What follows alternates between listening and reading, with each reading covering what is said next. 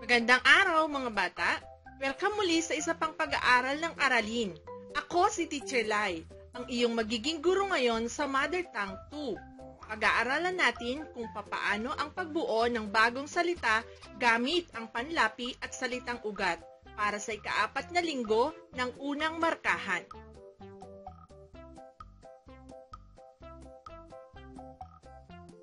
Pagkatapos ng araling ito, ikaw ay inaasahang makabubuo ng bagong salita sa pamamagitan ng kombinasyon ng mga panlapi at salitang ugat.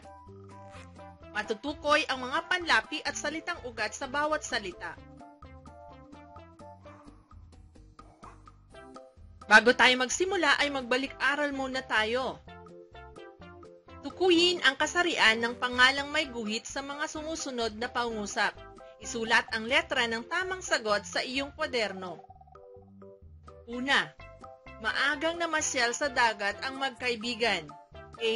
Pambabae B. Panlalaki C. Ditiyak D. Walang kasarian Magaling, letter C. Ang magkaibigan ay D. Tiyak. Ikalawa, bumili si tatay ng bagong telebisyon noong linggo. A. Pambabae B. Panlalaki C. Ditiyak D. Walang kasarian Tama, letter D. Ikatlo, ang aking ama ay isang magsasaka. Ang ama ay A. Pambabae, B. Panlalaki, C. Ditiyak, D. Walang kasarian. Mahusay, letter B. Kaapat. Kalabaw ay kulay itim. Ang kalabaw ay A. Pambabae, B. Panlalaki, C. Ditiyak, D. Walang kasarian. Correct, letter C. Ikalima, Bumili si ate ng bagong radyo. Ang ate ay A. Pambabae, B. Panlalaki, C. D. Tiyak, D. Walang kasarian. Tama ka dyan. Letter A. Dumako na tayo sa ating aralin. Alam mo ba kung ano ang salitang ugat? At ano ang panlapi? Alamin natin. Ang salitang ugat ay ang payak na anyo ng isang salita. Ito ay isang salita na walang dagdag, walang panlapi, hindi inuulit, at walang katambal na ibang salita. Karaniwang dinudugtungan ito ng panlapi upang makabuo ng panibagong salita o kataga. Halimbawa, inom, hain, takbo, hilig. Ang panlapi naman ay isang kataga o mga kataga na kinakabit sa unahan, sa gitna at hulihan ng isang salitang ugat upang makabuo ng panibagong salita na iba na ang kahulugan. Mga uri ng panlapi. Una ay ang unlapi. Ito ay ginagamit sa unahan ng salitang ugat. Ang mga madalas ginagamit ng mga unlapi ay ma, mag, na, nag, pag, pala, maka, at iba pa. Halimbawa, magtanim, mahusay, paglayo, makatao, nahulog, palabiro. Ikalawa, gitlapi. Ito ay ginagamit o matatagpuan sa gitna ng salitang ugat. Ang mga madalas ginagamit ng mga gitlapi ay um at in. Halimbawa, pinasok, gumagamit, tumakbo, sumayaw. Ikatlo, hulapi. Ito ay nasa hulihan ng salitang ugat. Ang karaniwang ginagamit na hulapi ay an, han, in, hin. Halimbawa, palitan, basahin, batuhan, aralin.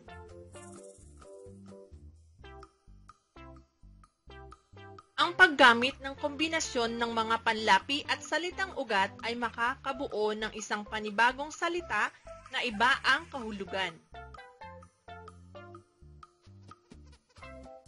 Dumako na tayo sa ating mga pagsasanay. Unang gawain. Isulat sa kwaderno ang panlapi at salitang ugat sa tapat ng mga sumusunod na salita. Panlapi, Salitang ugat. Una, masaya. Ano ang panlapi at ano ang salitang ugat ng salitang ito? Tama, ma ang panlapi at saya ang salitang ugat. Ikalawa, basurahan. Magaling! Han ang panlapi na matatagpuan sa hulihan at basura ang salitang ugat. Ikatlo, nagdilig.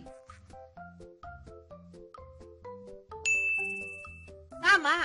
Nag ang panlapi na matatagpuan sa unahan at dilig ang salitang ugat. Ikaapat, taniman. Ano ang panlapi? Ano ang salitang ugat? Correct ka dyan. An ang panlapi at tanim ang salitang ugat. Ikalima, winalis. Magaling. In ang panlapi na matatagpuan sa gitna at walis ang salitang ugat.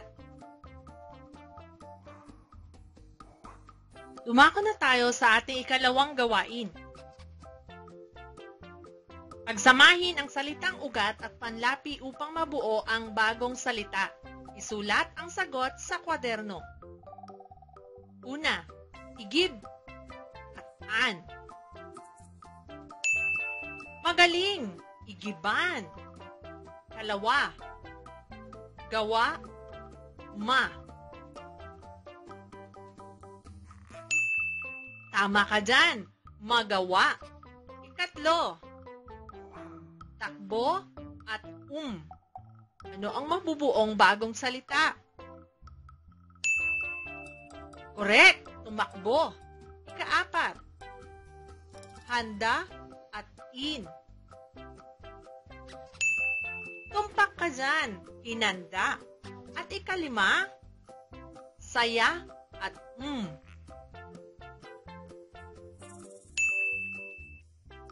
Kahanga-hanga ka talaga. Sumaya.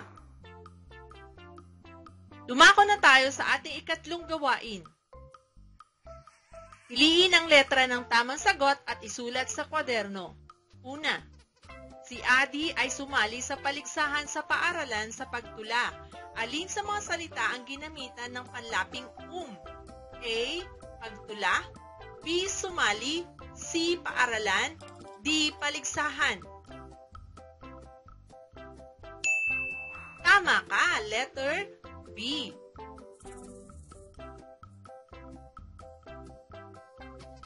Ikalawa, ang mga bata ay masayang masaya sa handaan na ginanap kahapon. Anong salita ang may panlaping an? A. Handaan B. Bata C. Kahapon D. Ginanap Tama ka ulit dyan. Letter A.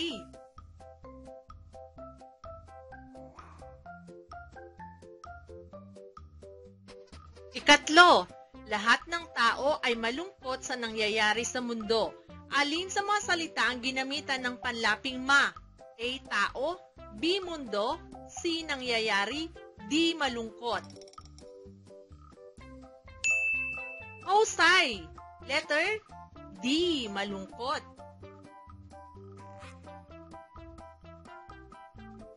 Ikaapat, kinain ng malaking ibon ang sisiw. Anong salita ang may panlaping in? A. Ibon B. Kinain C. Sisiw D. Malaki Napakahusay! Letter B. Kinain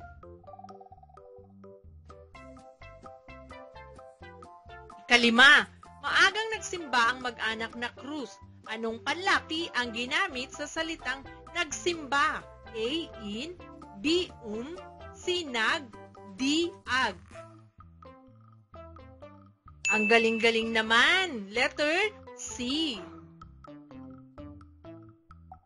Isa-isip natin. Nakabubuo ng isang bagong salita sa pamamagitan ng pagdaragdag o pagkakabit ng panlapi sa salitang ugat.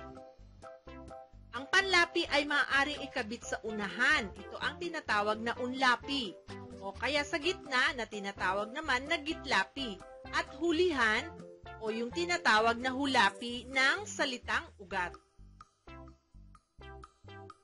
Pagpatuloy natin ang ating mga pagsasanay. Isagawa. Tignan ang larawan.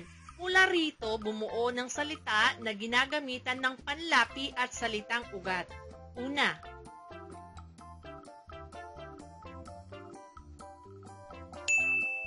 Tama ka, nagdilig. Maari rin na ang sagot ay magdidilig at diniligan. Kalawa, tumpak ka dyan. Ang salitang kainan o nakakain ay mga tama ring sagot. Ikatlo, anong salitang ugat na ginamitan ng panlapi ang angkop sa ikatlong larawan? Correct ka dyan, tirahan. Kaapat,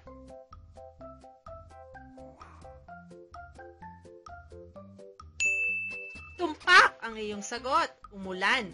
Maari rin na maulan, umuulan, at tag-ulan.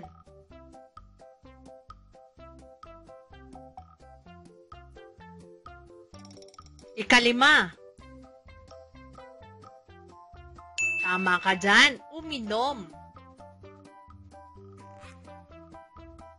Tayahin. Isulat ang ginamit na panlapi at salitang ugat sa patlang. Malakas. Ano ang panlapi at ano ang salitang ugat ng salitang malakas?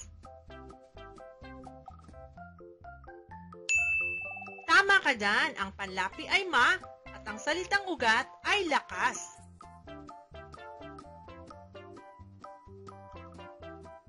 Kalawa, binuhat.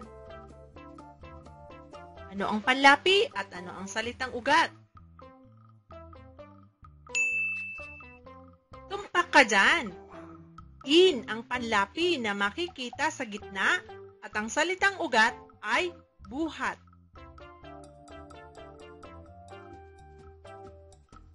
Ikatlo, hagdanan. Ano ang panlapi sa salitang ito? Magaling. An ang panlapi na nasa hulihan at ang salitang ugat ay hagdan.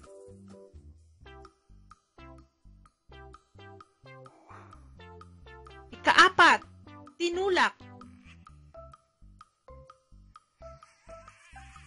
Mahusay. Ang panlapi ay in na nasa gitna at ang salitang ugat ay tulak.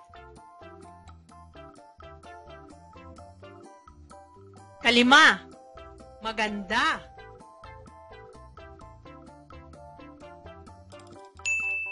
Correct ka dyan. Ang panlapi ay ma na nasa unahan at ang salitang ugat ay ganda.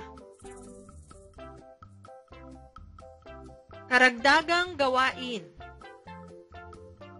Tignan ang mga larawan at basahin ang mga salita. Isulat kung ang panlaping ginamit sa sumusunod na salita ay unlapi, gitlapi o hulapi. Una, nagtanim. Saan matatagpuan ang panlaping ginamit sa salita?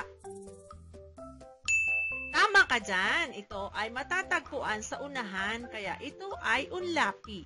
Nag ang panlaping ginamit. Ikalawa, tumalon. Saan matatagpuan ang panlaping ginamit? Tumpak ka dyan.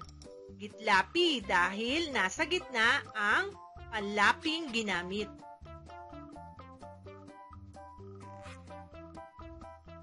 Ikatlo, gupitin. Saan matatagpuan ang panlaping ginamit sa salita? Correct ka dyan.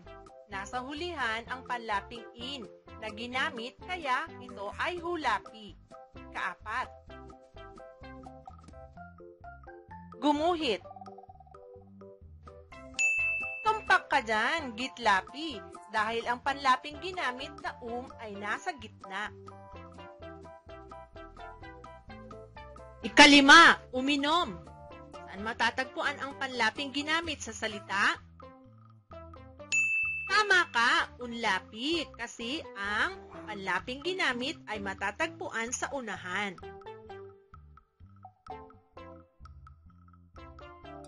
Hanggang dito na muna ang ating aralin. Maraming salamat sa panonood. Hanggang sa muli. Paalam!